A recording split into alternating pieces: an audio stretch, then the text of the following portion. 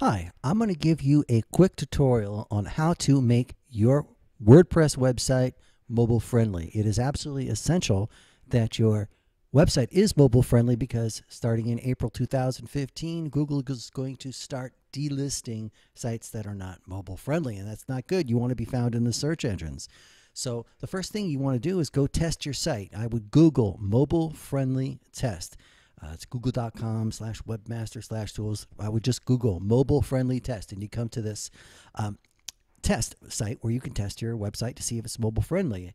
As you can see, I just tested my website, toprankedvideo.com, by clicking analyze and it went through and analyzed it. I'll do it right here, right in front of you, so you see how it goes. It's going to analyze uh, whether the site is mobile friendly or not. And then I'm going to show you how to quickly make it mobile friendly. Um, I had it mobile friendly before, and I am I unmobile friendlied it so I could show you this test. And here we go, go. We're doing this in real time. I'm not stopping the video and waiting. So you can see this is going to be a relatively quick process. 84, 86%, 87. We're almost there. And we are going to find the verdict on this site, whether it is mobile friendly or not. There we go. Not mobile friendly. You don't want to see this. You want to see that it is mobile friendly. Okay? So, what do we do? You log into your WordPress site. You should know how to do that. Um, um, go ahead and log into your WordPress site. Go to the plugins section. Click on Add New. You want to add a new plugin. Now, what I'm going to do is search plugins. And the, the plugin I'm going to look for is WP Mobile Detector Mobile Plugin. There are many plugins that do this. This one has worked for me every single time. It's free, so hey, I'm going for it. We're going to find this plugin.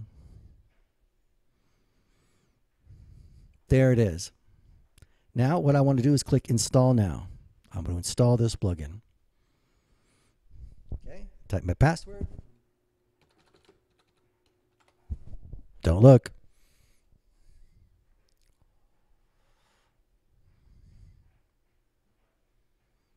I'm going to activate the plugin.